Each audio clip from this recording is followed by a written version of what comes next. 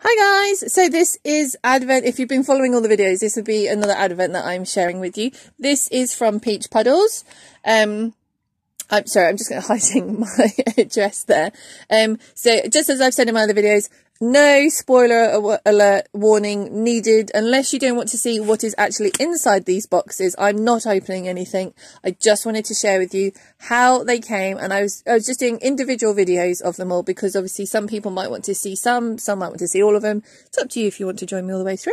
I've got a couple more to go after this, but this is from Bethany over at Peach Puddles and it is full of Hayley goodies and I am so excited about seeing this one. So I have got a few others.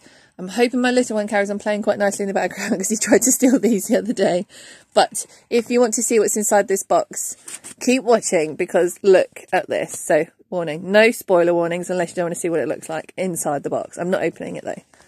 Oh, look at these. Look. Look at all these little packages. Uh, look at them. It's like never ending. Never ending. Oh.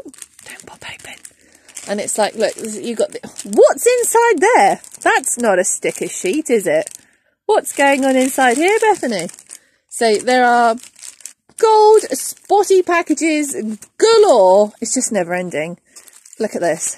Oh, it's, and they don't all feel like sticker sheets. I don't know what she's got planned for us. There are some odd feeling packages in here. Not that I've been feeling them.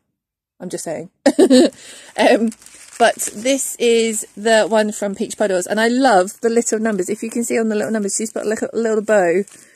On, oh, there's a little ball ball on that one. so they are so, so cute. I am going to very carefully try to look at that one. Try peeling these off and popping them in my sticker book to use again next time. There's like really funny odd shapes going on in there.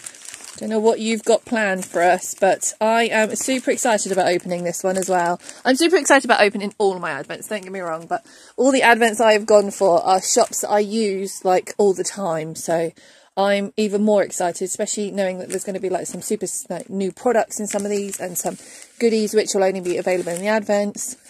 Oh, I can't wait. So this is my Peach Puddles advent and I am super excited, as I am with all of my advents. And yeah, I can't wait to be sharing these with you guys. So thanks for joining me.